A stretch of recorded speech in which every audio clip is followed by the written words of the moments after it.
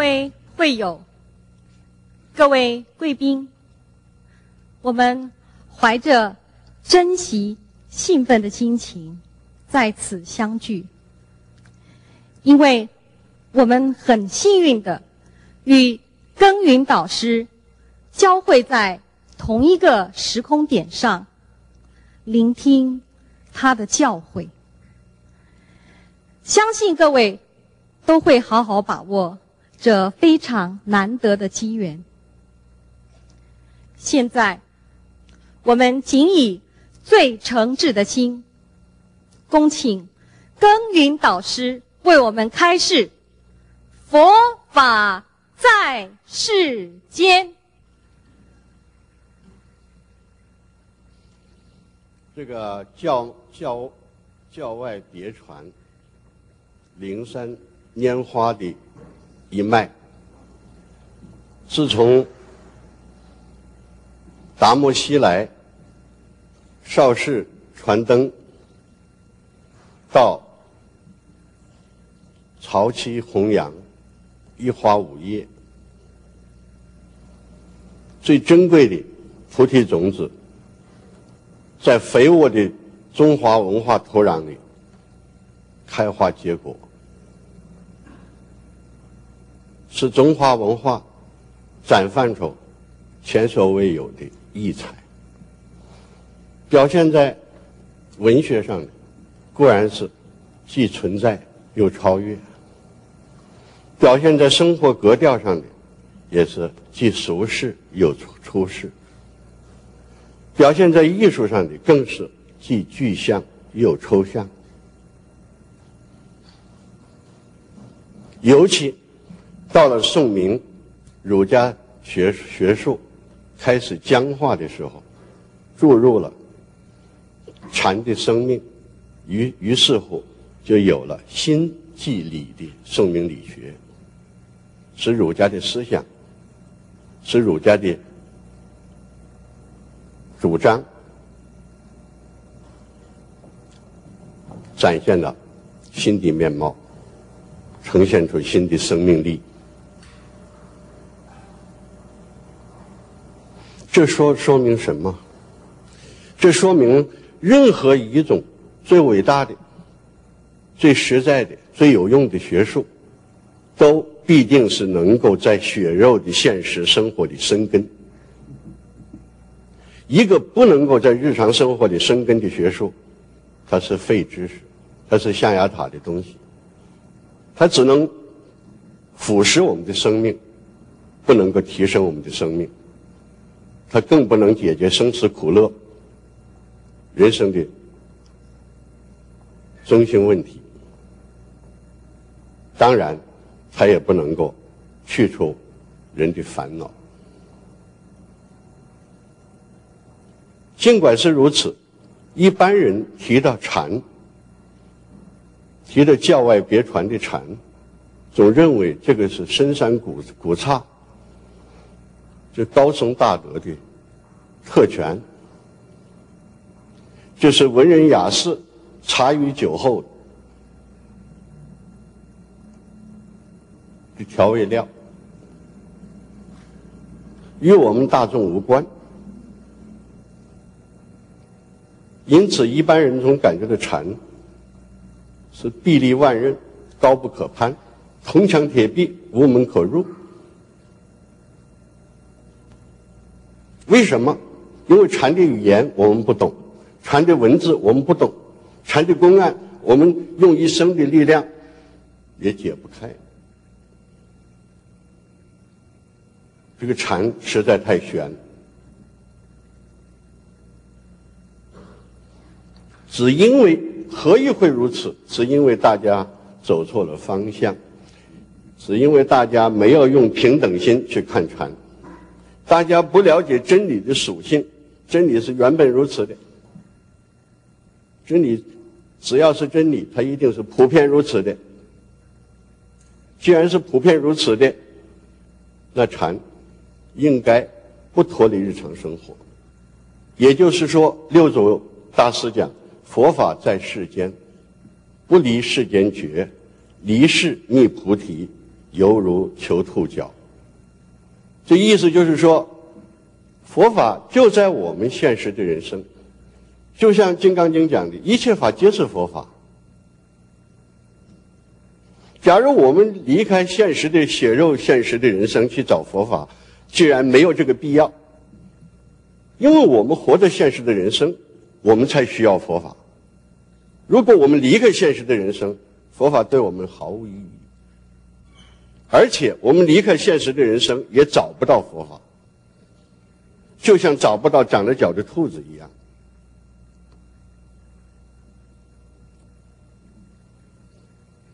我们了解是我们自己追求的态度不对，对禅缺少正确的认认知。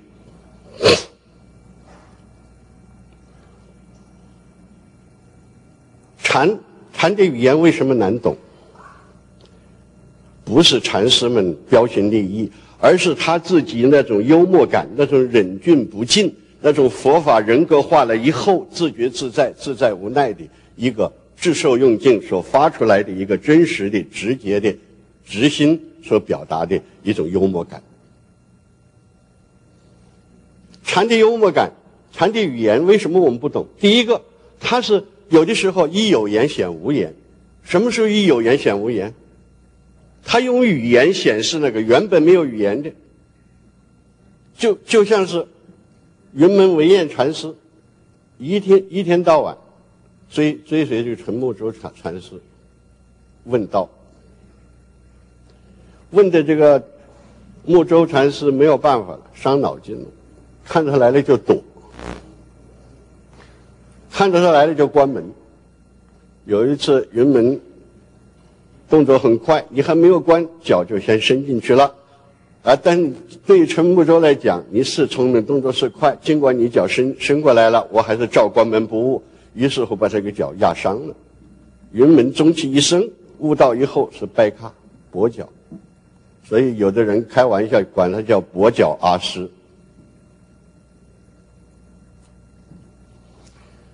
那个云门说：“你压我的脚没有关系，你要跟我说，就是说法是什么。”那个陈默舟讲了五个字：“秦时杜立传”，讲了五个字。这五个字你怎么排列组合也找不出什么道理。什么叫秦时杜立传？但是云门当下豁然大悟，悟在什么？悟在这个“一有言显无言”。各位把这段公公案如果参透了，那一定悟得很正确，绝对不会误错。要就是不误，要就是很正确，要就是到家。所以参公案呢，要会选，有的时候选的不对，你参了也没用。这个就是一无一有言显无言。在还要有有的时候呢，你想什么是佛？庭前白树子。什么时候祖师即来意，敢死绝？像这些都是以有言显无言。有的时候以无言显有言。什么是佛法？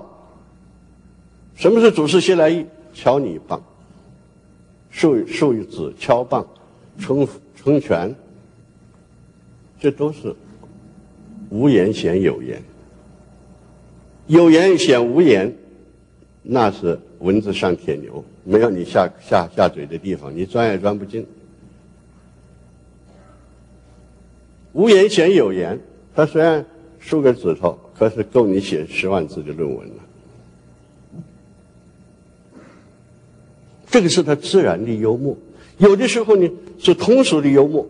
你比方说，有人问赵州：“听说你跟南拳普愿禅师学学法，从他得法，对不对？”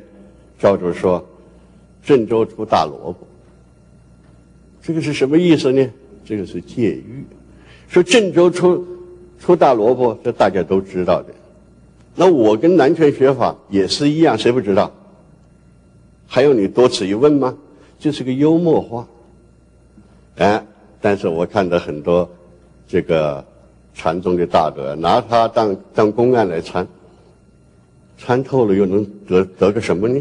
参不透，当然是理理所当然。他本来是明的，还要参吗？就你激活你参，你又能够得到什么领？你领悟到什么？你不管你领悟到什么，都是错的。所以这个参公案呢，要会选。你没有选对，你拿它当话头参，参来参去，参了一辈子，参透了，要别人印来印证，别人哈哈大笑，而你呢，还是七统一个。所以禅宗的话不懂，那个不奇怪，因为他太，他太多的幽默感。我们不懂是正确的，因为我们缺少幽缺少幽默感。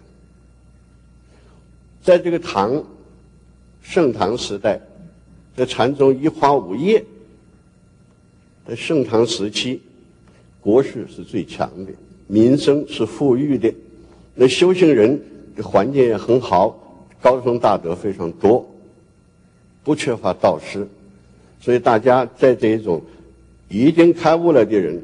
精神压压力等于零，生活富足，不予匮乏，而精神啊而解脱，在这样子这样的生活条件之下，当然他是充满了幽默的。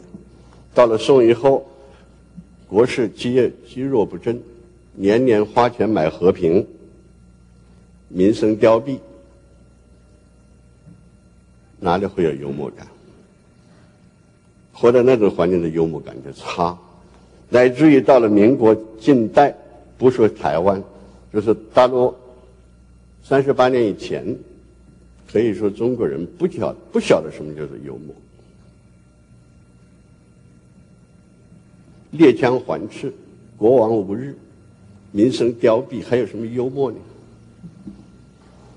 所以唐朝的公案幽默性特别强。宋朝的公案幽默性性强，但是开悟的比较少。我们拿着自己的现在的心情去体会祖师的心心态，那是格格不入的。所以我们认为禅壁立万仞，高不可攀，其实只是他幽默感比我们强。我们用平常心去看禅。禅不但是普具备普遍性，而且是在我们生活里生根的。不但在我们生活的生根，而且它是具备很突出的平等性。而且古时候的大德，像六祖，没有念过书，不认识字，他照样大彻大悟。而且他说的话就是经典，唯一中国人讲的话称作佛经的。那就是六祖慧能大师。我们由以上的分析，说我们对禅禅的态度有问题，所以我们自己形成了障碍。其实佛法是在世间的，我们可以从现在的文学上，从我们的艺术上，去寻找禅的痕迹，到处可以看得到，乃至于。著名的雕刻，现代的刺绣，都能够找到禅的痕迹。这也就说明了的的确确是佛法在世间不离世间觉，离世觅菩提犹如求出脚。我们应该在现实的生活里来发掘自我。禅是什么？禅就是自己。禅要不是自己，那又何贵乎学禅？我们应该踏踏实实在日常生活里发掘自我，因为我们是在日成长过程中迷失的，因此也必须在日常生活中发掘我们的原本的心。一出生，随着六尘不断的掩盖，一层又一层，形成我们的表面意识的分别心。那个离开分别的永恒不变的真心，因此就被埋没。我们应该下手的，就是要去掉覆盖我们原本真心的那那那那些那些灰尘、那些尘垢，要使我真实永恒原本的自自我能够抬头，这是我们每个人每个不甘被埋埋没的人的中心课题，也是这一生的中心使命。我们如何使我们的佛法真正在日常生活当中？在血肉的现实生活当中生根、发芽、茁壮、开花、结果，我们有几个重点必须要把握。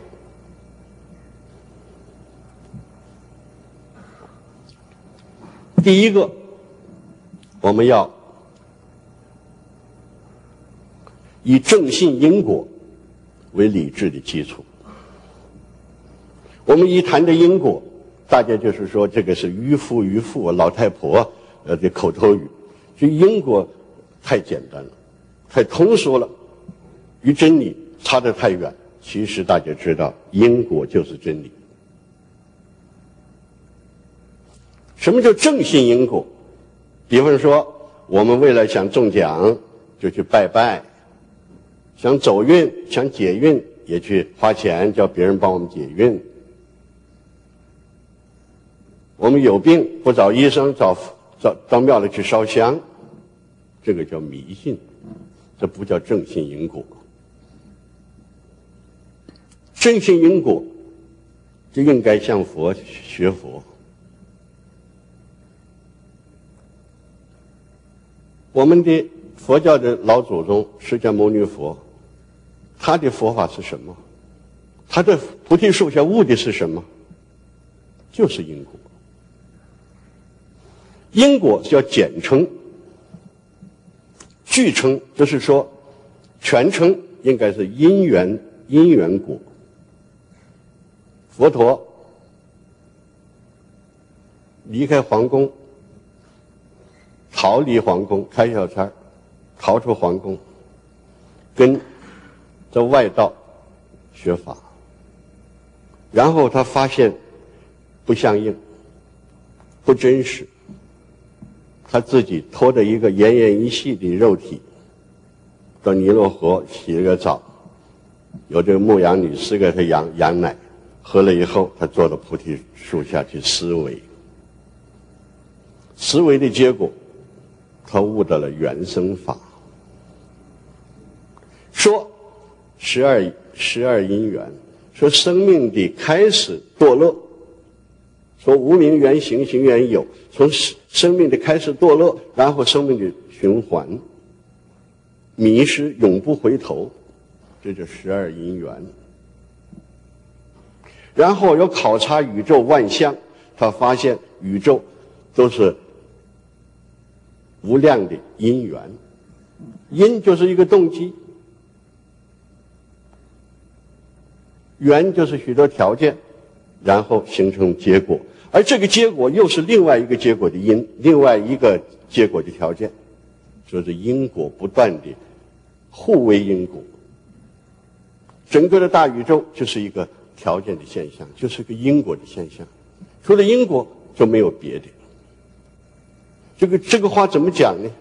就是说，宇宙当中所有的现象都是一个条件的组合。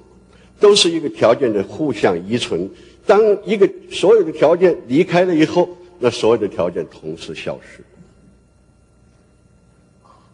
当它存在的是个是是个许许条件的聚集，所有条件的分离的时候，找不到任何一个永恒不变的事物。所以说，万物无自性。也就是说，我们像像这个房子，我们把这个水泥、沙子、石头、木材、钢筋、人工、时间以及其他所有的因素，都抽出来一个个的抽出来，找那个原本如此永永恒不变的房子，没有。而且你把这些条件分开的时候，这些条件就不再是房子，而且这些各个不同的条件也渐渐消失。乃至于物质一个基本的存在的一个原子，你把质子、电子、中子分开，乃至于光子、量子、微质子，一步一步的消失，不再存在。也就是说，世界宇宙当中所有的东西存在都是相互依存的条件关系，当这个条件消失了，它就不再存在。我们人是是接近六十兆原子细胞组成的。你把这个原子细胞拿掉，找这个人找不到这个人，因为它是条件的组合，所以说因缘所生法，我说即是空。条件组合的最后，条件分开了，什么都没有。如果是条件分开了以后，还有各个不同的条件的话，那宇宙是不但是多元多元，而且混浊混乱。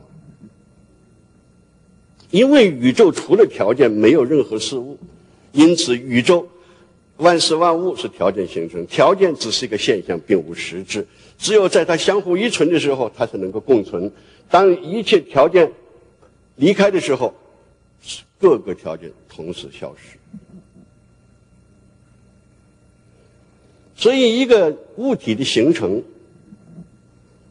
在宇宙形成一个新的物体。那是无量亿兆的数字的平方，也就是说，宇宙出现一个新的物质，那个那个多么难能，所以说原生可贵。我们讲的这个地方就知道了，释迦牟尼他是讲的宇宙除了因缘产生结果，结果又形成另外一个结果的因缘，互为条件，互相循环。而既然是因缘条件的组合，宇宙当体是空。虽然是空，人活在宇宙当中，必须承承认宇宙的规律跟法则。宇宙的法则就是因缘法。所以这在逻辑学里边就是自然其一律，自然自然界的统一的法则。所以佛用。因果法批判外道六师，外道归纳起有六种。第一种叫做一因论。什么叫一因论呢？说这一所有的一切都是梵天创造的，说一个原因叫一因论。那佛说梵天创造了一切，请问谁创造了梵天？那外道没话讲了。佛批评外道的一因论是用因缘因缘法则。佛批判无因论，什么叫无因论呢？就叫自然外道，说这一切没有什么道理，无作者无受者，也没有规律，没有法则。佛批判这些人，用因果法批判，用因果法举例，使他们哑口无言。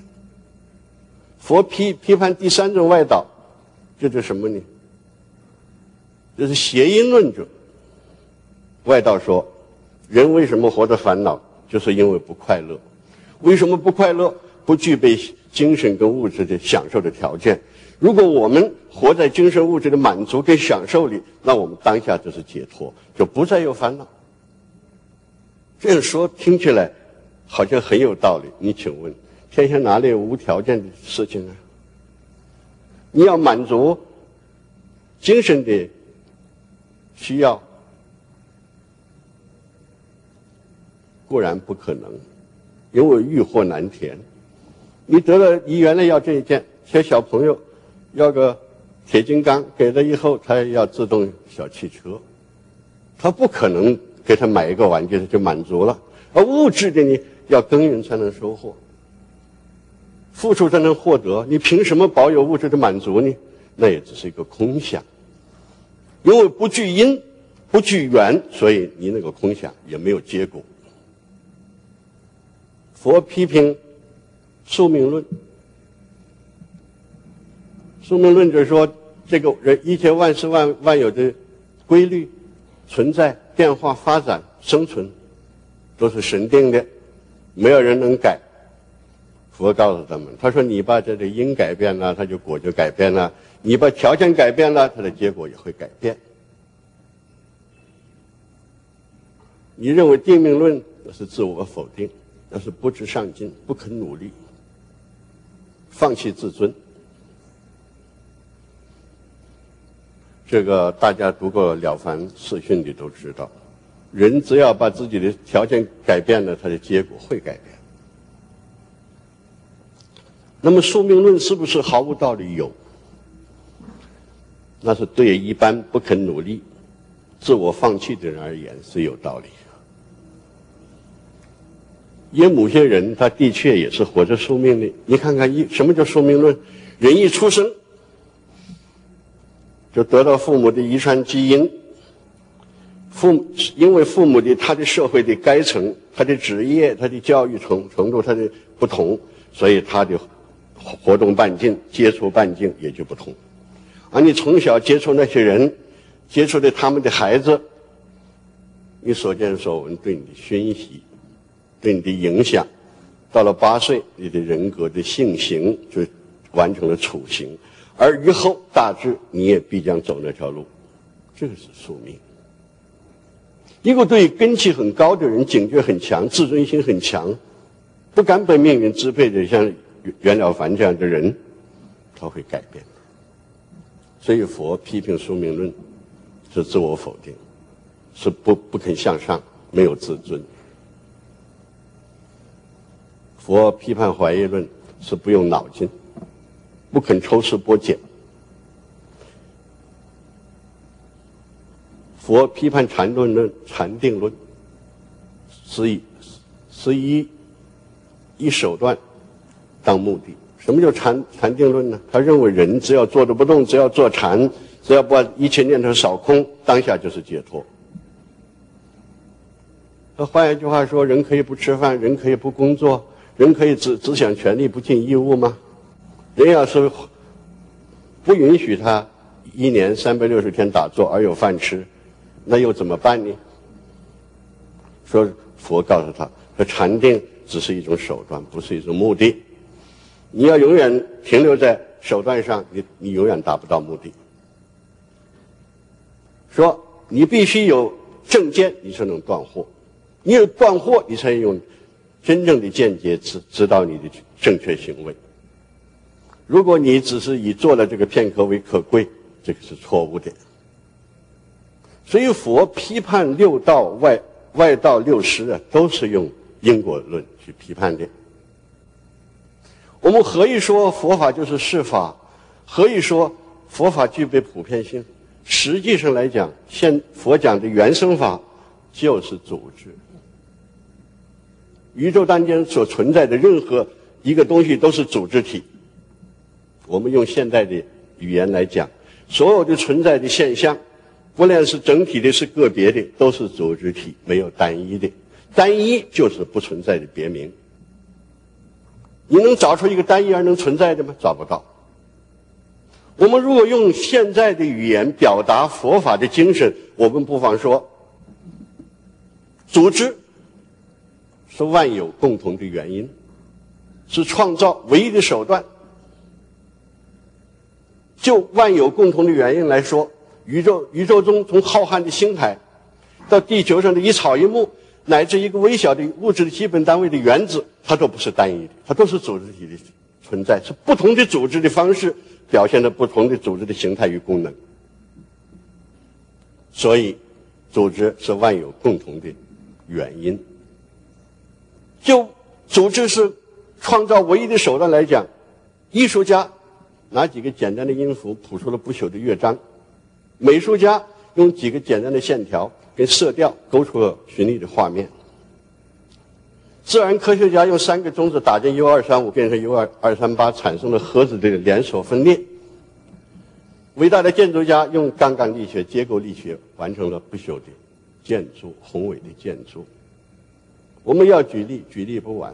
我们可以说，没有一样都都的创造不是借组织的结构与改变完成的。有一天，我们可以用人人的智慧。跟人的技术能够改变黄金金原子的电子质子、量子中子的数量与电子的运行的速度方向，我们就可以制造黄金。古人没有完成的炼金术就可以在我们手上实现。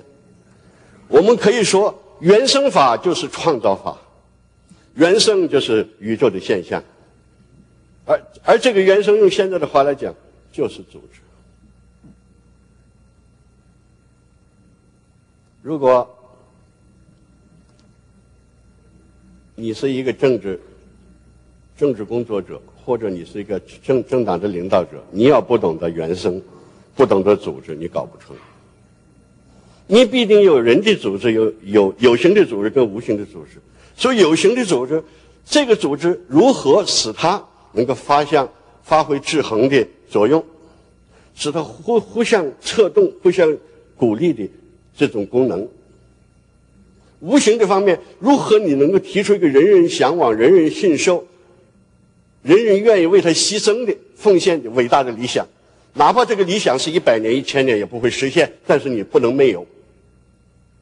你如何提出一个是大家都讨厌、大家都都都看不顺眼、大家都不习惯、大家都不能够忍耐的一个最近的目标？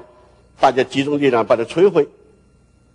这都是一个组织的作用，因为你没有远大的理想，你没有办法鼓舞人的热情，你没有最近的目标，你就不能够统一人的行动，表现人组织的力量。你不能表现力量，你就没有存在的作用。你没有存在的作用，你就没有存在的意义。没有存在的意义，任何事物都没有存在的可能，它就会被掠夺，自我消失的存在的可能。我们摆了一朵花，摆了麦克风，摆了茶杯，它会存在的。如果有个人偷偷的摆个砖头，我相信不用指定谁拿，谁看着顺手把拿掉了，因为他实在摆的实在毫无道理。我们同时也发现，佛讲的原生法，不但是要我们起有一定的作用、一定的组织，用条件来改变它的方向，用条件来提升它的作用，而且还启示我们，任何一个存在的事物，必定必须有它存在的。价值、意义，它才有存在的作用。当它消失了存在的作用、存在的意义、存在的价值的时候，它就不再有存在的可能。所以我们每个人都要活在责任义务里。哪怕是出家人、百丈大师，他都一日不做，一日不食。我们了解佛真正的佛法的精神，不是我们好高骛远的讲的什么。啊，这个哲学，那个哲学，哲学费老说：“费那个是，那个跟音乐很接近，那个是贵族的欣赏品。真正的佛学，是在我们每个人的日用、日常生活里，它是生长离不开我们血肉的人生的。所以，第一个，我们的基本的理智。必须要建立在因果法则上。我们认为这一切是空，空，空有不二，空并不是什么都没有，只是说它只有相互依存的关系。我们就认为人应该和谐相处，应该彼此依存，而不是好高骛远，讲那些与我们生活毫无关的那些废知识。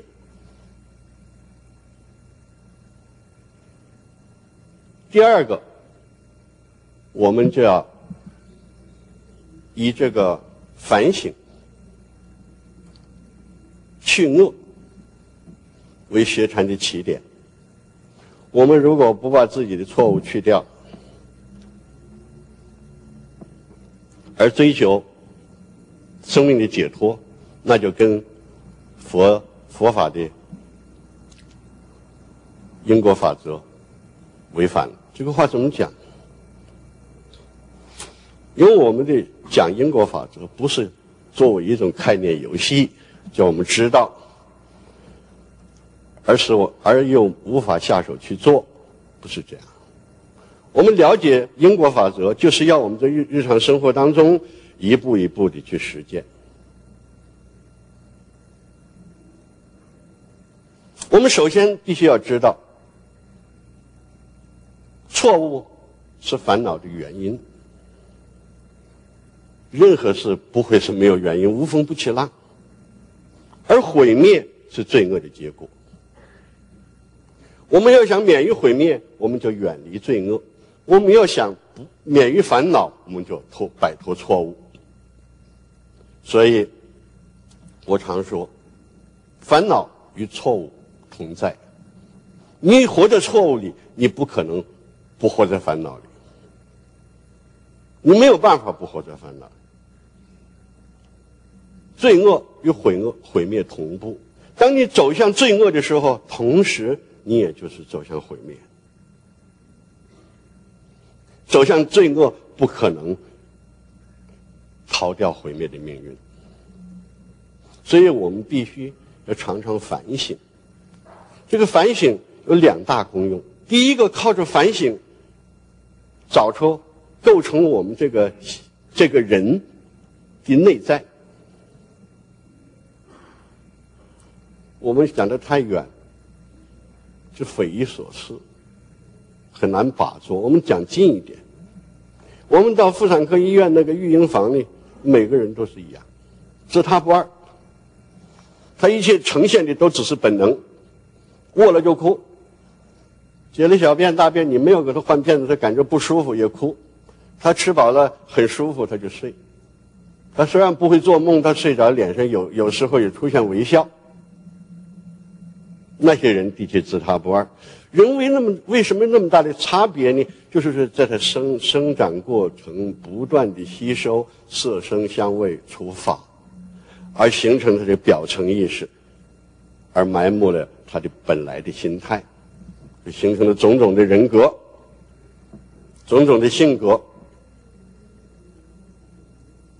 种种的人之不同各如其面的人。我们靠了这个反省的了解，我们。构成了我们表层意识有哪些偏去的惯性？我们如果不去掉它，我们就不会活得更好。有哪些是妨碍我们事业发展成功的因素？不去掉它，我们注定失败。我们只有去靠不断的自我反反省，反省的最后，我们就知道。山清水路，水尽疑无路。柳暗花明又一村。反省的最后不能反省的时候，我们也可能反反省到妈妈生我们的时候，也可能妈妈没有生我们以前。要反省的很认真、很彻底，不断的丢掉错误，就去掉障，去掉学法的障碍。等到没有障碍，就愈加愈加优嘎联合。跟什么？跟真理、跟佛法、跟宇宙的真实相联合。到这个时候，你就能够反省到你妈妈没有生你以前，这个就是禅宗讲的本来面目。本来你的本来面目，也就是大宇宙的真实，因为你跟宇宙原本不是对立的，宇宙即你，你即宇宙。所以很多人。遇到事情不肯去反省，天天生气，都认为这些气都是人家给他的，使他生气是不公平的。如果没有那些讨厌的家伙，我不会生气。这个、这个、这个没有就无救了。为什么？一个人要行有不得，反求诸己。你不反省，不得不从自己身身上找答案。那这个烦恼永远切不断。你试试看，如果不是你做错了，不是你说错了，不是你领会错了，会有烦恼吗？绝对没有。领会错了，你是多疑。人家两个人正讲话，你见到他停止，你说这两个一定是骂我，其实人家对你的尊敬。你来了以后，他还他还在讲话，那表表示是，那看你目中无人嘛。诸如此类，我们做人，如果向外面要求，想改变外在的一切，说我活得太烦恼了，这个环境不好，因此而改变外在一切，不满外在一切，你是越来越烦恼，它就是恶性环循环。只有你从你自己身上去找那个烦恼的根源，物以类聚。如果你没有错误，烦恼不找你，你对烦恼是绝缘体。只有这样下最踏实的功夫去反省，用因果律来衡量自己，来了解自己，来要求自己，我们才是个真正的佛教徒，我们才有可能活活得免于烦恼，才有可能日日是好日，年年是好年。第三个呢？一个真正的禅者，他的生活不是卖弄机机锋、表现幽默，那当然虽然无害，但是真正的受用、最踏实的，应该以为求心安为人生的取向。我们人生总有一个方向，说克己复礼，吃亏就是占便宜，这个都不究竟。只有一个根本的原则要确立、要坚持，那就是说，唯求心安，只求心安。有一个朋友，好久没见，跑到我这来，一坐下大发牢骚，他说他想退休啦，他说现在这个不能干，现在好人难做。啊，他说他如如何尽职，如何负责，如何对朋友好，啊，如何最近有个副主管对他考评，他偷偷的看到，对他考考评很很多误解，他认为他没有多大发展潜力。我说你这个都应了这个过去我所讲的话。第一个错误必得烦恼，你的考级人家跟你考级。那照道理你是不能看到才对啊，那你看到那个你偷偷的看那就错了，行为不光明，啊你错了你烦恼那是活该。第二个我时常讲，我说我们人活着只求心安无愧，我你我的生命的意义与价值并不建立在少数主观偏见的好恶之上。你要认为你的生命的意义跟价值只建立少数主观偏见。者之上，那你不如死了算了，你活得太不体面了。说我们要想我们的，不要把自己的生命的意义跟价值建立在少数主观偏见好恶之上的话，我们就必须建立一个原则，确定一个取向，那就是说，唯求心安。我们做什么事只要心安无愧，你喜不喜欢没有关系。你说你不喜欢没关系，反正你也不是我太太，不跟我过一辈子，也不必办离婚手续。人要没有这种坚持原则，人要没有这种顽强的态度，他会活得很很无奈。我这不是跟你说笑我，这是真的。你必须基本上要做到事事无愧。你能够事事无愧，你就心安。你能够事事无愧，你就知道活着是责任义务，死了才真正是解脱，也不既不恋生也不怕死。人能够唯求心安，事事问心无愧，他他真是为人不做亏心事，半夜不怕鬼敲门，医院里发传票他也不会害怕。人不能侥幸，不能够行险侥幸。不能够做那个令心不安的事，明明知道这是坏事，我们偏要去做，那就欺心。欺心则欺欺天。我刚刚讲说明理学有三个字很重要：心即理。这心跟心即理，跟禅有什么区别呢？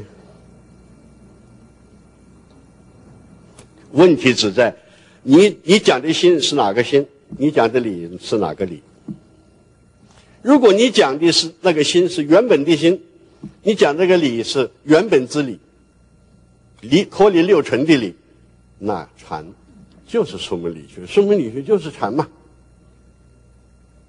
你能够有这种心胸，那你人当然是心安无愧、洒脱。白天没有烦恼，晚上没有噩梦。所以，要想把禅在现实的人生里生根，就要以唯求心安作为人生的取向。因为二祖达摩西来邵氏面壁九年，等谁呀？等二祖。等慧可大师，慧可大师去见达摩，达摩说：“你站了一夜，下的雪，你求什么呢？”他说：“我唯求心安，我心不宁啊，气死云安，请师傅帮我叫我心安。”他说：“你拿心来，我给你安。”说：“我找心找不到。”他说：“那我给你安好了。”这一问一答之间。就显示了一个禅者的一个中心取向，就是心安。也告诉我，人到无心的时候，心自安。也就是说，当你表面意识停止活动，你的一切的妄想停止活动，叫你本来的真心抬头的时候，心里自然就是平安、安适，无所不安。所以我们放弃了求心安。我们学禅是断然不成。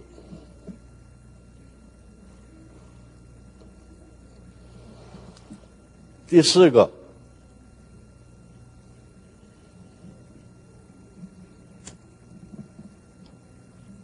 以践行中道为心行规范。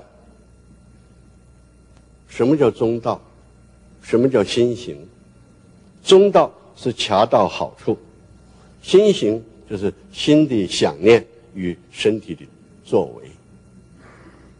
为什么我们要提出心行？因为我们的身体的一切的动作应该反映于心的想念，应该反映于认识的指导。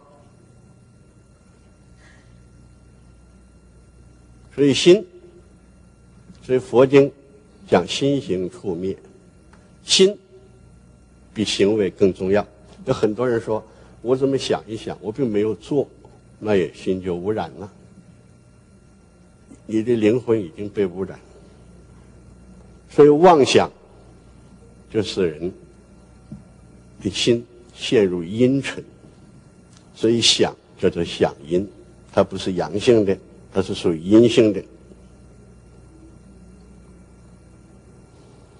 很多人人生说我不要吃饭。”我这碗省下来给他吃，这不叫中道，这不叫中道。如果再再来第二个人又给他吃，最后你饿死了，壮志未成身先死，那岂不是常使英雄泪满襟？这是中道吗？这不是中。有很多说我做生意，别人鸡蛋两块钱一个，我买一个送一个，那你的生意还能做几天呢？你准备关门吧，这不叫中道。有的人说，我人家吵架，这这有什么问题问我的话，我这谁也不得罪，大家都好。我是王八蛋，我一个人不好，那叫中道吗？那不叫中道，而且没有是没有是非，不分善恶，这叫墙头草。真正的中道是什么呢？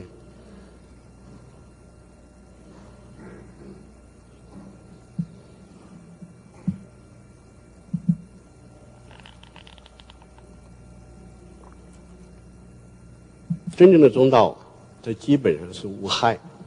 什么叫无害呀？好像是我们丢了几片苏打放了醋瓶子里一样，经过发热以后冷却了，它就变成了中性的了。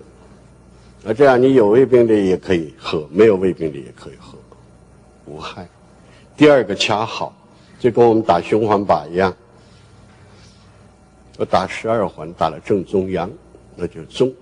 中者重也，叫不偏不倚，掐中固地，没有过，没有不及，恰到好处。你比如说做生意，什么叫中道？做生意，我们赚钱，对方赚钱，没有任何人受到损害，没有任何人受到损害，这个叫中道。有一天，我跟叶东辉谈中道，我说你在干什么？他说我在卖便当。我说你那个卖的便当啊，第一个你卖的不比别人贵，第二个你自己也吃那便当，这就是中道了。如果你那个面当比别人便宜，但你你自己都不敢吃，那就那就缺德了，什么中道啊？哎。我说，你看那个街上那个卖什么大力丸、卖野药的，他自己先吃两粒。他为什么自己先吃呢？他要不吃，别人就不敢吃了。所以你这个东西你自己不吃，别人也许敢吃，但是你这个心已经偏离中道。我说你既然是卖便当，你就自己不要另外做饭，饿了就吃一份便当，这个就是中道，既不比别人贵，也比别人清洁卫生。我说的是恰到好处。否则的话，我你找中道就找不到。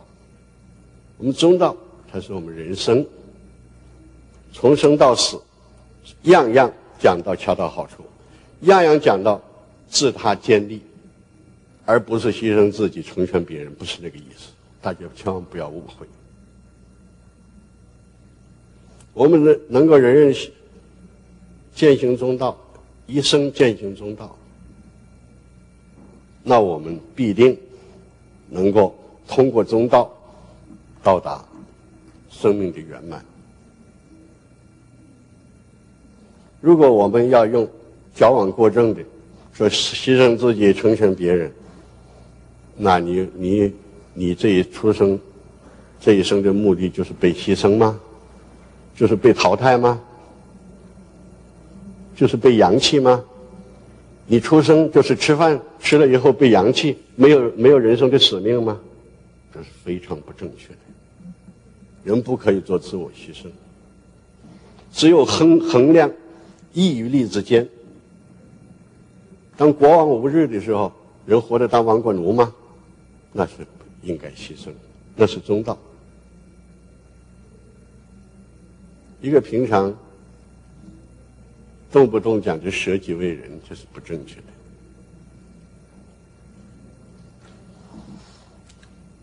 第五个呢，要把佛法深置在我们现实的人生。第五个要点，就是要以齐家为修行的道场，因为出家人他有寺，他有寺庙，我们在家人修行。没有寺庙，只有个家庭。而我们讲齐家，就是说建立道场，然后再运用道场。我如如果我们不齐家，那个家就不不是就不是道场。谈到齐家，家家是什么？家是草昧与文明的分水岭，也是人与兽的分水岭。而古人没有，古时候没有家庭，只有部落，只有族群，人们是相聚而幼，只知有母，不知有父，知道谁是我妈妈，谁是我父亲，居然不知道。所以人是浑浑噩噩，谈不到人的。人格的自觉谈不到人性的尊严。等到有了家庭以后，人的尊严抬头，人性开始苏醒，人生活的目的、生命的意义得到充实。因为有了家，才会有父子有情、夫妇有义；有了家，才能才能父慈子孝、兄友弟恭。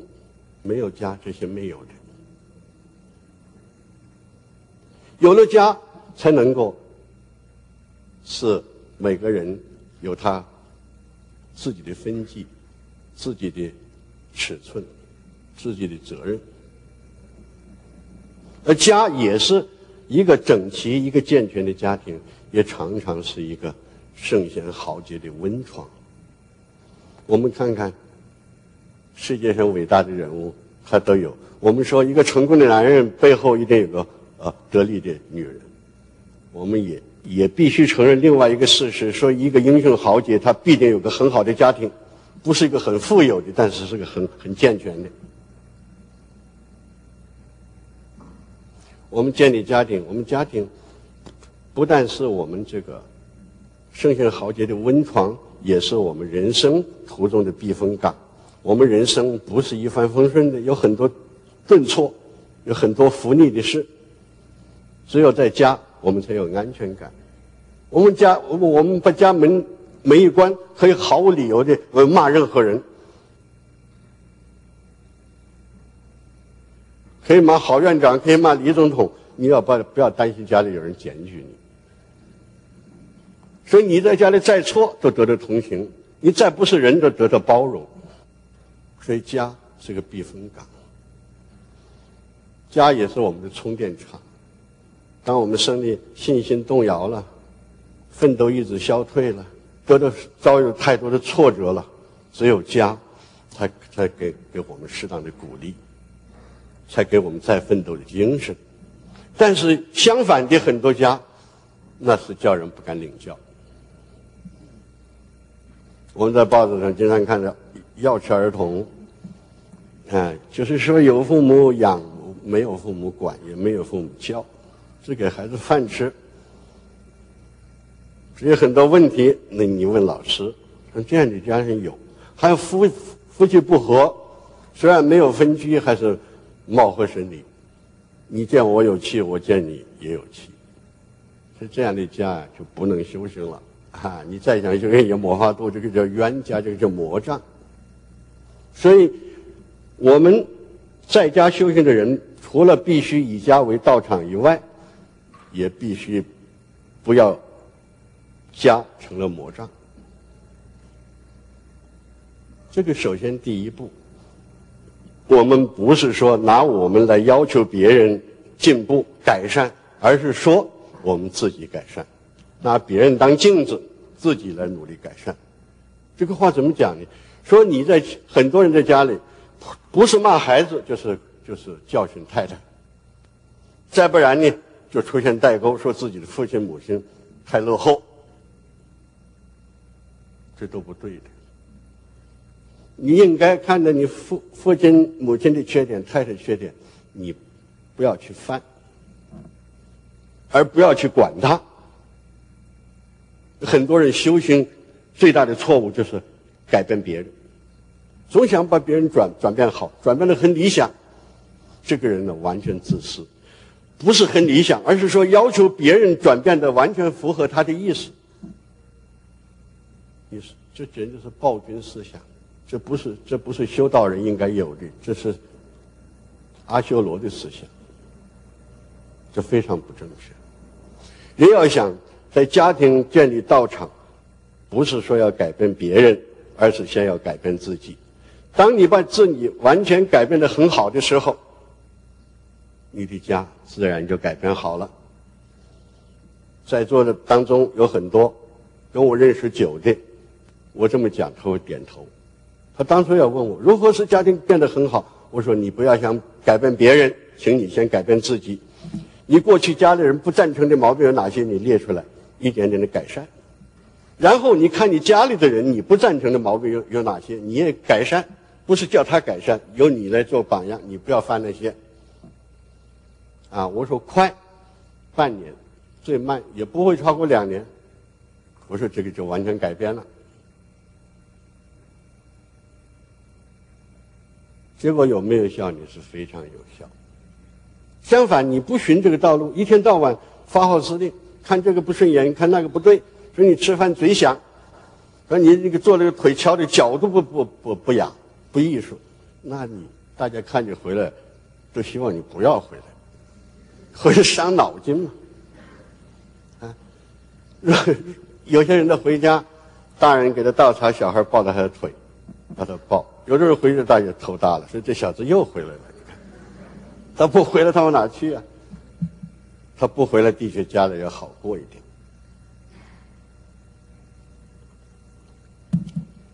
所以我们呢，一定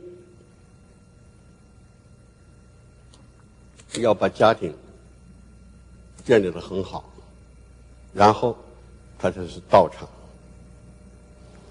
然后一人一人人一家兴仁，一家让一国兴让，然后由个人带动一家一家的健全，来交织成健全的社会，由和谐的社会建立安详的国家，这才叫沿土守生。沿土守生就是以家为起点。什么叫沿沿土庄严佛土？如何叫熟生成熟众生？众生基本上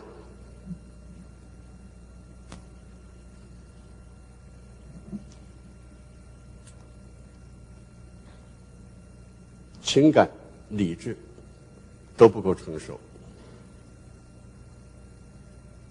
我们要想，一个情感、理智不成熟的人，就缺乏正见。就缺乏慈悲。一个社会没有慈悲的社会，就是矛盾，就是冲突，就是仇恨。一个没有正见的社会，它必定必定是盲行妄作，我被来乱七八糟，就造成一个黑暗跟罪恶的社会。我们要承受众生，就是要弘扬佛法，启发众生的正见，弘扬。佛法建立众生的理性。一个人虽然也追求权势，也追求物质的享受，也不放弃生活的基本需要，但是人最大的需要，一个是真理智的寄托，一个是。真真情感的发挥。如果一个人没有真理智，没有寄托，真情感没有发挥，物质的满足永远不能填补生命的空虚。而这个成成熟众生、庄严佛土的起点，就是我们每个人的家庭。我们为什么特别提出这个齐家的要求？因为对一部分人来说，家者家也，就是扛家带锁啊，那是个很沉重的负担，而且也是障道的因缘。而主要的原因是人有一个意志力，不主宰自己，专门要求别人；有个眼睛，不回顾自己，专门挑别人的毛病。这个是烦恼的根源，而且我们如果不把家变得很和谐，我们没有办法修行。我们在外面感觉到很孤孤立，回到家里来感觉到更难受，那怎么修行呢？而且作为一个现代的人。应该很清楚的体认到，如果我们不把家庭和谐调和，我们对不起子女。我们没有一个温馨的家，我们不可能有健全的下一代。那我们的国家乃至人类的远景都会变得暗淡。假如夫妻常常摩擦吵架，情事多人偶阵雨，那小孩的心灵就不会健全。夫妻两个闹得太厉害了，小孩都会做噩梦，半夜的睡醒睡醒了他会哭。孩子是无辜的，不要摧残幼苗。他本来可以变成圣贤豪杰，结果叫你弄弄的，结果从小就心灵破碎，人格分裂，为了适应大人，变得虚伪说谎。这个我们都应该责无旁贷，都没有理由推脱这个责任。我们说家是圣贤豪杰的温床，不是说叫你对孩子的溺溺爱，因为温室里头虽然可以有四时不谢之花，但是温室培养不出栋梁之才。你要应该不断鼓励，充实孩子们的勇气。而养成孩子们面面对现实，不逃避现实。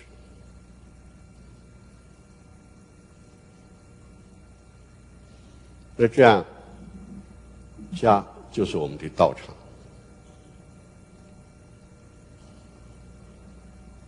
有些人说，在家里修行不行，家里修行要好的话，那释迦牟尼何必开小差呢？这并不尽然。六祖大师说。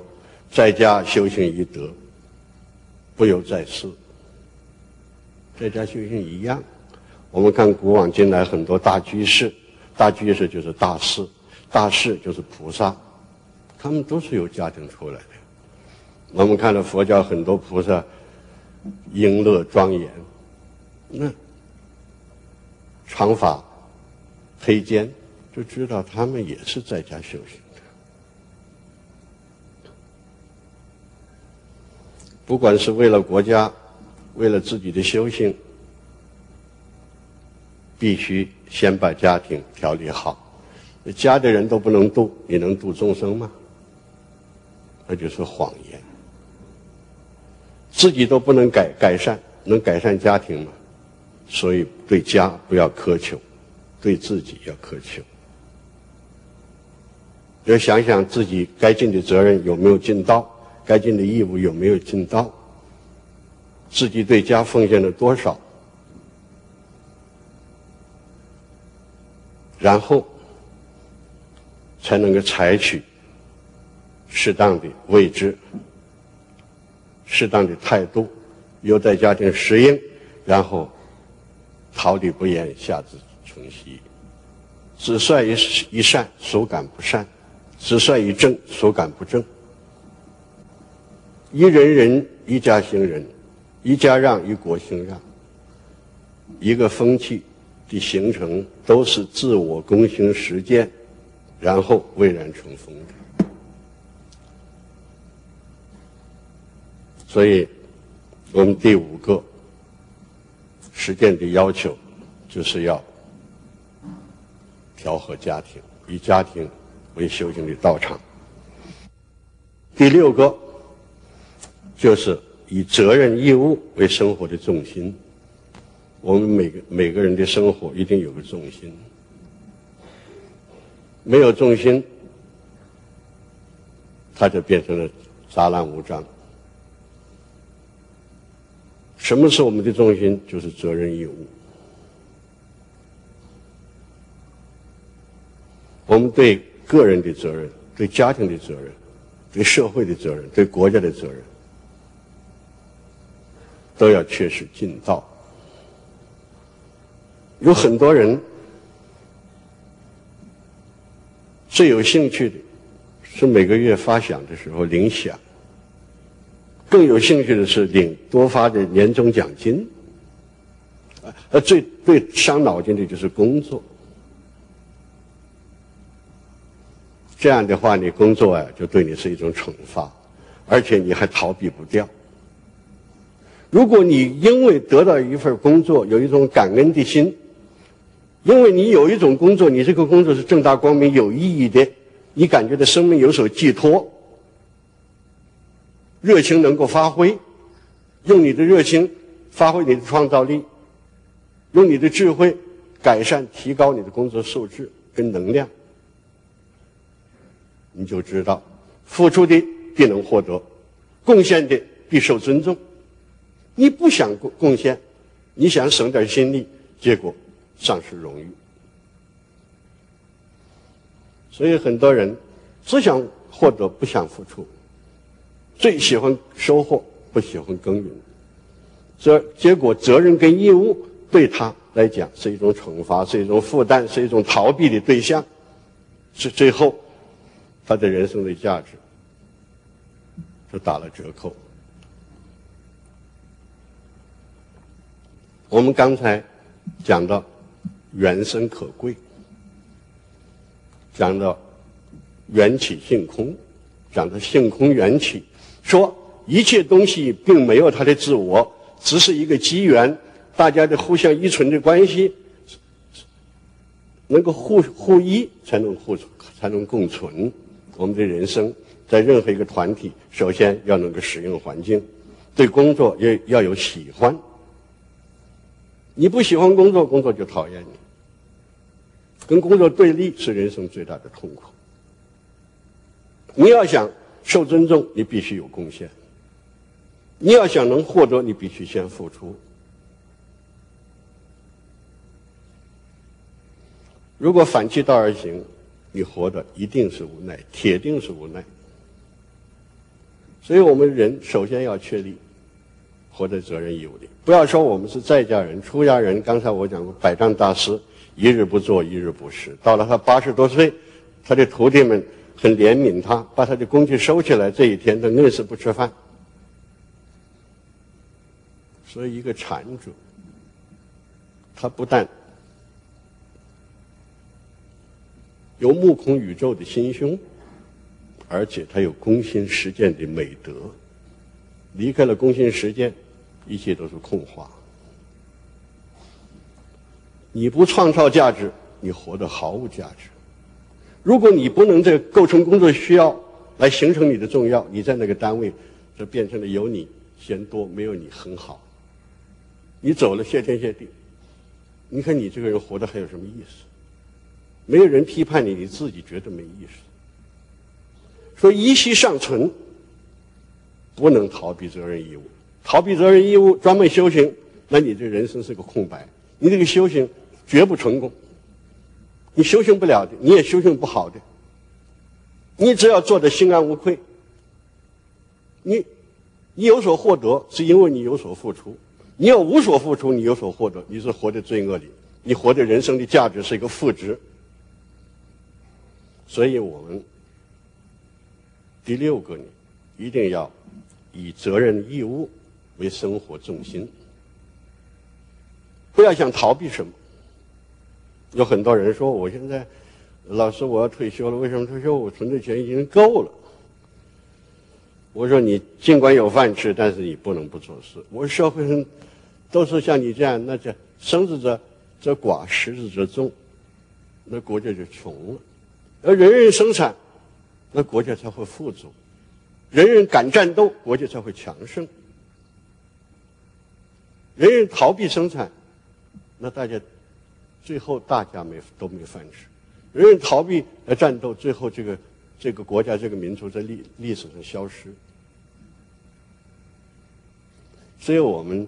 学禅是个很正常的人，是个人中的典型，而不是逃避责任义务，不是个废料。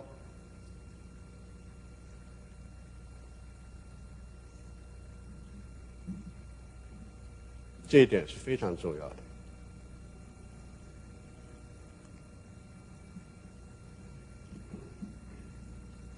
第七个是以穷本溯源。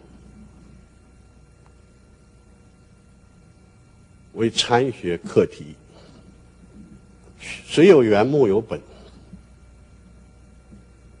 真实的是原本的，真理只能发现，不能创造。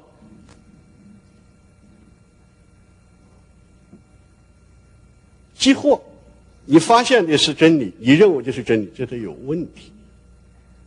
一个能发现的你，一个所发现的真理，两个。真理是唯一的，所以禅它的特性就是超越。它是宗教，来自宗教，但是它要超越宗教。它不排除哲学，但是它超越哲学。不能超越，用表表层意识来发现、来编织、来说明宇宙论，宇宙的本体是什么？本体论，宇宙的本体是什么？宇宙论，宇宙的法则是什么？认识论、方法论，用什么方法来认识宇宙才是正确的？然后由宇宙延伸到人生，就是人生观、人生论。而再证明一下，就来个历史论、历史观。这都，这都叫概念游戏，这都叫废知识。你知道的了，对你没有什么改变；你不知道，你也不缺少些什么。佛法则不然，他叫你穷穷源溯本，一切万事万万万物的源头，本源是什么？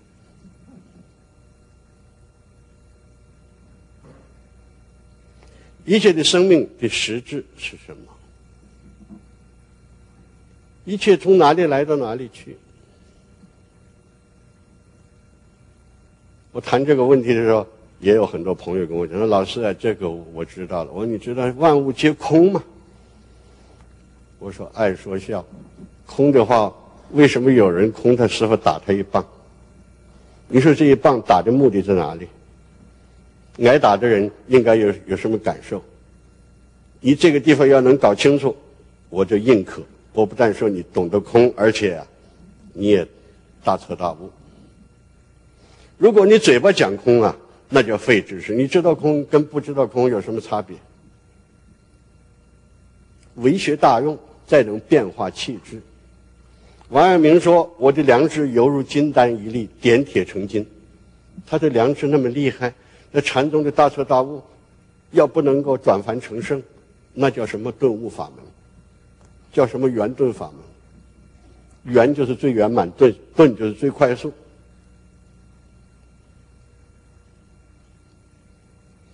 我说你讲空，还欠一棒。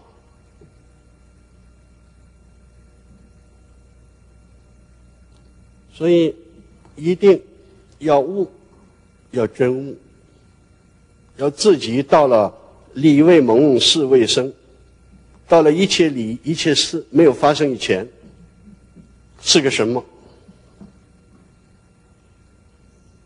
这当中我也犯过很多错误，因为禅是雨季时成，只能九九九九九，不能再加了，再加了就是十成就不对了。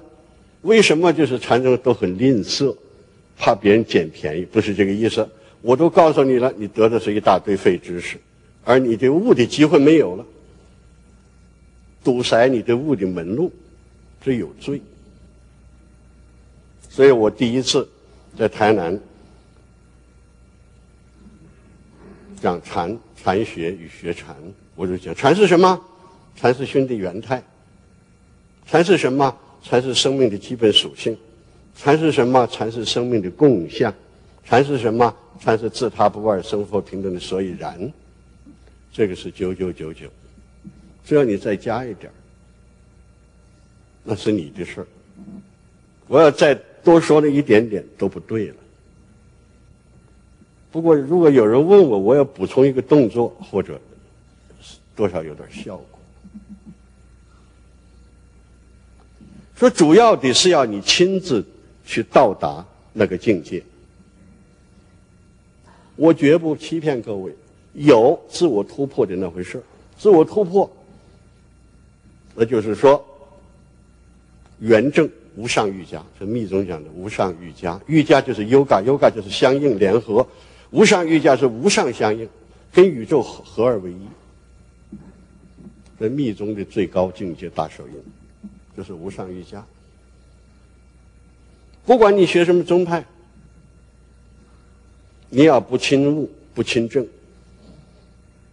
那是欺人自欺，那是浪费光阴。我还特别说出来，我说禅是什么？禅是正见加正受。什么叫正见？看的最真实、最原本，天地未分，一万个银河系没有形成以前。什么叫正受？有个不同的感受，有个迥然不同的感受。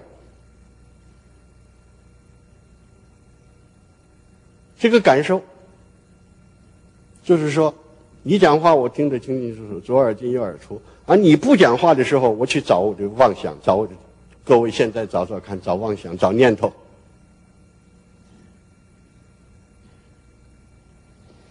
你你应该找不到才对，为什么？一念不生，全体现。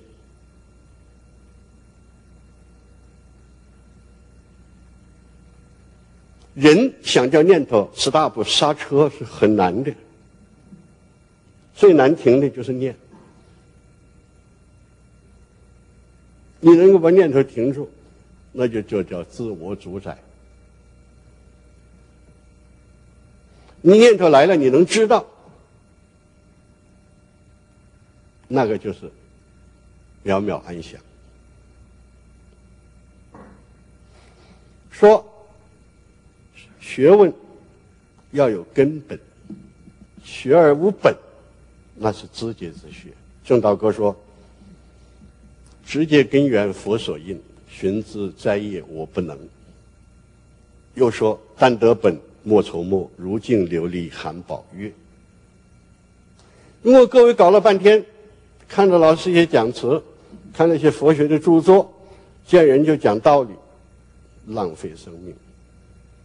你那不是功德，你那是造业。他已经被六尘活埋了，你还给他增加点法尘，那他永远不能出头了。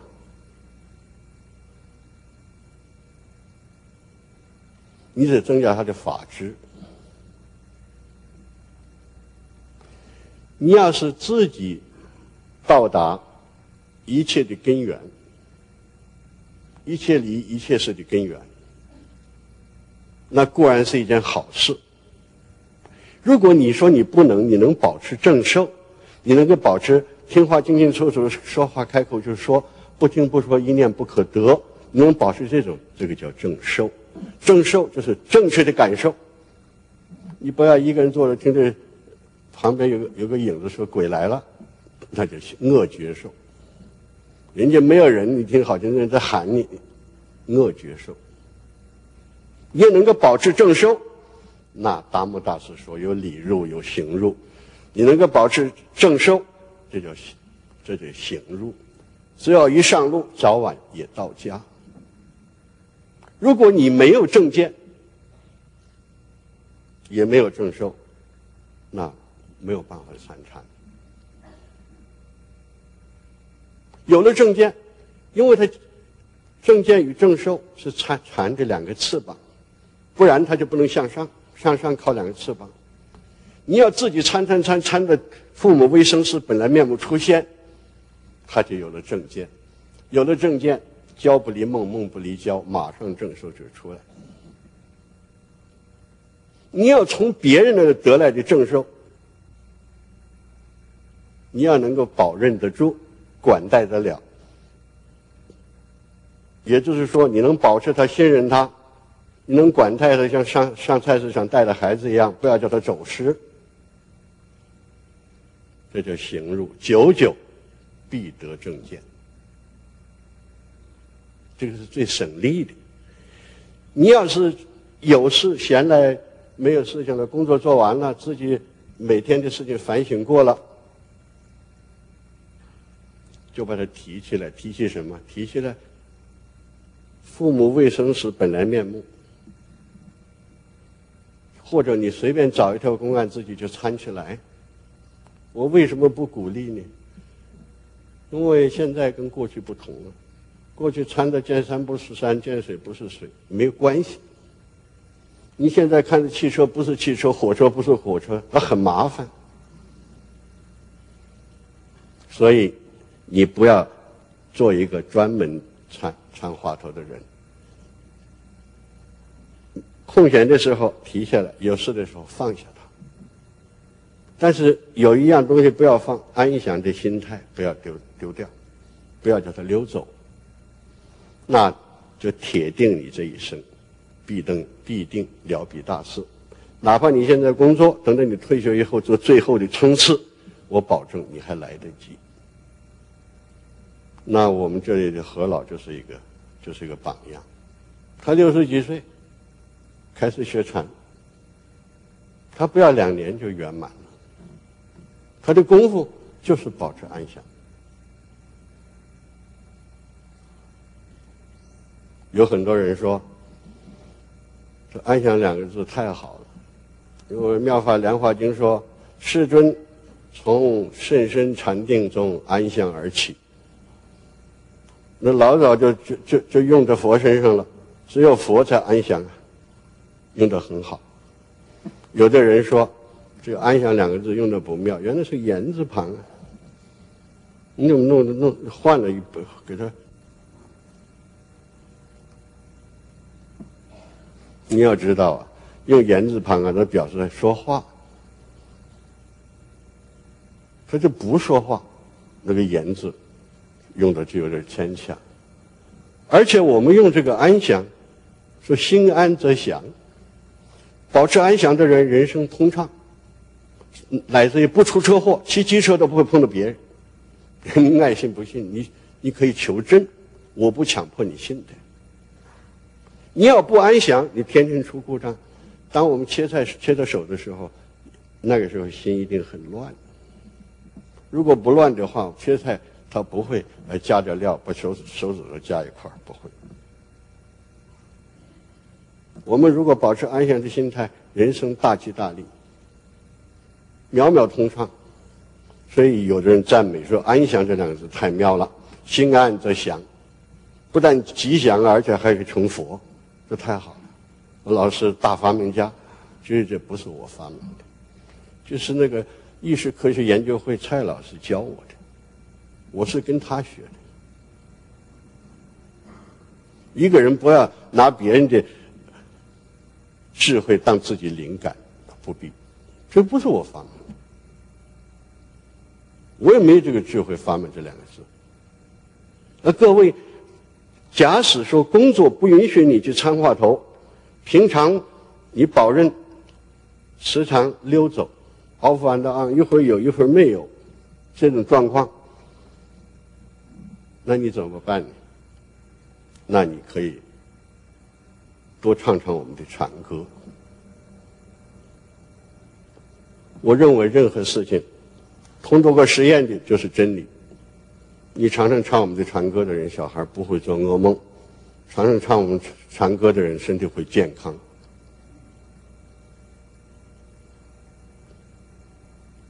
所以我们最禅禅的根本的课题。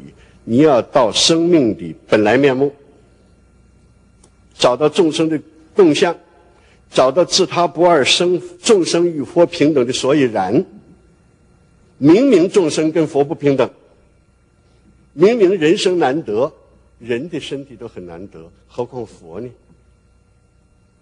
但是佛自己讲，一切众生皆有智慧，如来智慧德相。你要找出这个所以然来。你就大彻大悟，你对宇宙万事万物不再有任何疑疑惑。你要找不到，那问题还多。你不如行入，老老实实保持安详。有人能够把安详奉送给你，活着安详的人没有昨天，活着安详的人没有明天，活着安详的只有现在，活着安详的没有烦恼。活着安详的刀枪不入，活在安详的人，没有人觉夺他心灵的喜悦。所以，我们参禅的中心课题，就是要穷源溯本，溯本就是穷源，而到了一切事一切力的源头。一切是一切里的共相，一切是一切里的原本来面目，那个叫大彻大悟，那个起惊天动地的变化，那个的转凡成圣，那个就赢得生命的圆满，到达生命的永恒。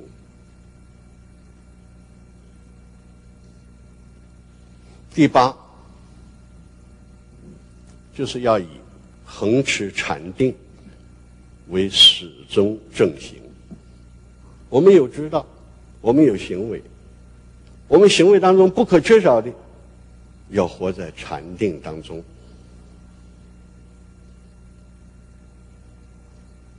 什么叫禅定？不是刚才我们讲的佛批判外道禅定论，禅定主义者说禅定就是本身就是解脱，不是那种禅定。我们讲的禅定是禅宗祖师禅的禅定，那就是说外不着相，内心不乱。禅定有三种，我们的安详禅的禅定有三种。第一个是离智禅定，什么叫离智禅定？当我们得到新传，我们走到丁好市场，走到西门区、西门町，熙熙攘攘、热闹非凡。但是回到家里，好像一个人在走，既没有看到什么，也不记得什么。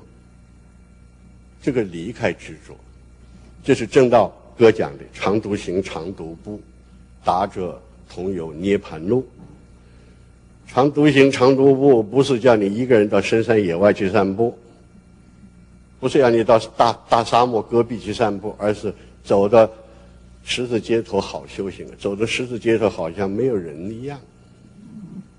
这个叫离智禅定，外在的东西不再对你构成干扰，内心也不再起念，也不再随便说这个小姐呃多大年纪，那个小姐是可以呃竞选中国小姐。不许这样，目迎看这小姐漂亮，目迎目送，不会这样。你离智禅定做得很好，但是它的根没有拔掉。你过去那些无始无明，那些业还在，所以有的时候。受到太多的干扰，你尽管是不上街，坐在家里，他还起很多杂念，他还担忧明年如何，后年又如何，到一百岁又如何？其实你未必能活一百岁啊。这个呢，这个知就是过去的陈年的旧账，所有的家事百千劫所作孽不亡，你一定把它拔掉，要去之。去之就是刚才我们讲的靠反省的功夫，反省就是倒顺序，今天反省昨天，昨天反省前天，今天反反反省去年，反省的今年再反省去年再前年，也就是反省他父母生我的时候，如果你很认真、很相应，你会想想到你妈妈生你的那痛苦的形状。你会想，想象你那个时候不甘不甘心来，又不得不来。这我们在会友当中好几位知道，有人知道他是人，有人知道他不非人。我这个人从来不讲我自己做不到的话。我做我自己做不到，我有什么理由要求别人做呢？别人做的是好是坏呢？所以我反省的时候，我也能反映到我妈妈生我。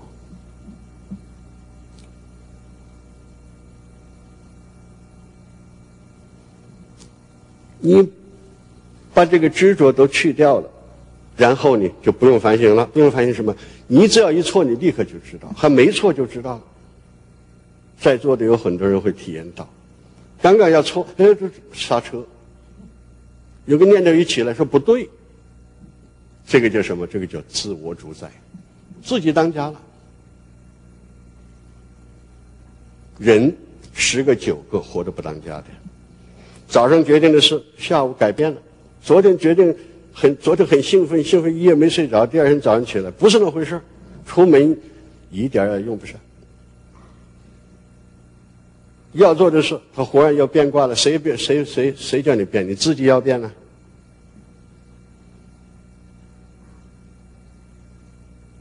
你把这个我讲的离智禅定，现在差不多每位都是离智禅定。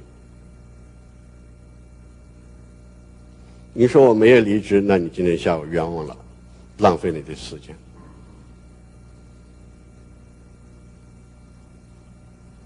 离职禅定，在离职禅定当中做反省，就叫做去智禅定。反省的很彻底、很相应、很专心，而不要急，不要定进度，有空就来，不要求快，只求确实，不求迅速。当然，你反省的完了以后，就无知禅定，最后无知了，没有执着，那叫真无漏。真无漏，就是烦恼再也攻不进来。你的生生未来的生命，不可能再制造任何错误。你所到之处，散播安详，散播光明，你就是菩萨行，也就是光的天使，散播光明，驱除暗淡，使社会更调和，使国家更更强盛，使世世界更和平。如果离开了禅定的正行，处处是。起心，处处起分别，处处起执着，那就不是禅者的正行。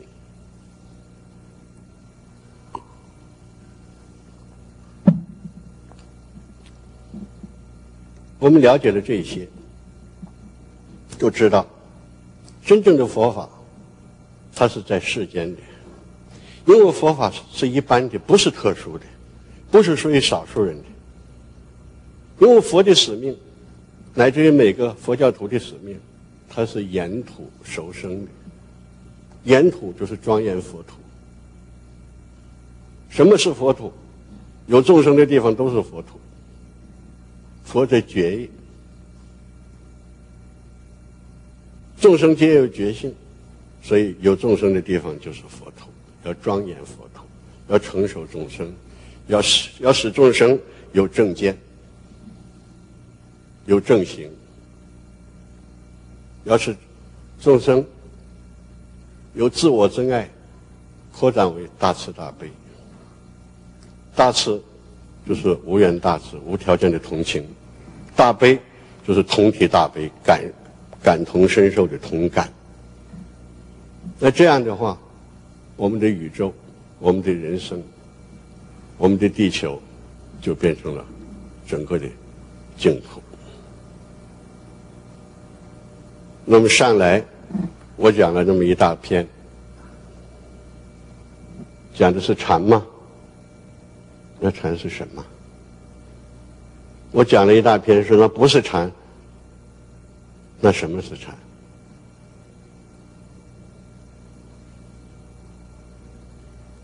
真正的法，佛者觉也，是建立在感受跟感觉上。你要有禅的感觉，我就是如假包换的禅；你有没有禅的感觉，那我就是贩卖废废知识，剥夺别人的生命，浪费别人的生命。因为时间就是生命，所以这个都不重要。重要的，人人有个无价大宝；重要的，原生可贵。一个人能够遇得正法。等于十八万劫的十十八万次方的时间，人不会轻容易遇到正法。而遇到正法，如果你业障很重，电阻很大，你也接受不了正法，你也不可能得到别人给你的正受。我们讲了半天，罗里吧嗦，那个都不重要，重要的，人人都有个无价大宝。等一下，各位离开，不要忘记带回去，不要丢在椅子上丢掉。我认为这个很重要。谢谢各位。